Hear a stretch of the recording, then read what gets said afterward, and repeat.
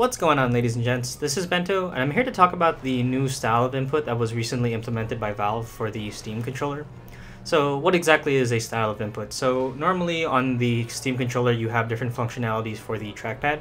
You can have it set to, you can have the style of input to be set to like a joystick or a mouse, or if any of you have seen my other videos I actually did a touch menu and a mouse wheel. So the newest one that was been implemented was is what's called a mouse region. And a mouse region is really cool because it allows your cursor to move a lot faster in this case. So it's actually really good for top-down style games like Dota 2, StarCraft, and obviously Civ. Um, so you, it, it's kind of nice because you get to remove some of the like hindered movement that you'd have to usually do with a normal mouse style of input. So in this case, if just as just to show you guys, um, if I were to, if you look at how the trackpad is right now, if I were to touch the left side of this, the trackpad, it actually goes straight to the left portion of the screen. And if I were to touch the right, it'll just go straight to the right. So essentially your entire trackpad is the uh, screen itself. And so that's really nice because you move your cursor a lot faster. Um, it's good for games that really need you to move um, your mouse movement as fast as possible. Um, I did run into some issues with the mouse region though, and that is initially it actually has a pretty small region size, and as you can see by the default here over here.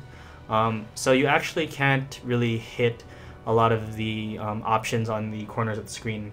So like here I can't even hit the menu option even though, well actually I could, but it kind of requires you to be like at the outer edge. And similarly like here, it just really requires you to move your cursor as far from the screen as possible. But just to rectify this, all you really need to do is increase the region size.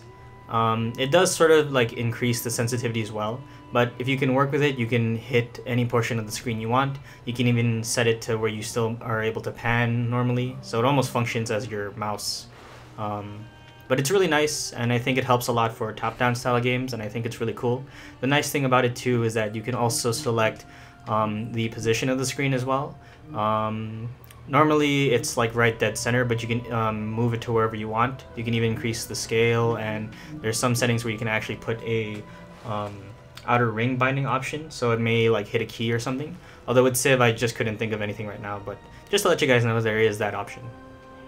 Um, so another, I mean, if you do want to change the screen size, or I mean the region size, um, something I thought might have been cool was to shift mode two different style of mouse regions. So maybe you can have one mouse region that's just set to the, default screen where you can um, like just move your units, do whatever you need to do, and then maybe you can have a mouse region set to the map as well.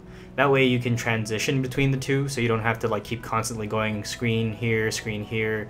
That way you just hold, maybe you mode shift it, you just hold the trigger or um, bumper or something, and you can easily just go from here and then straight to here already that's just one example I think that could have been used like if you want to do that sort of thing.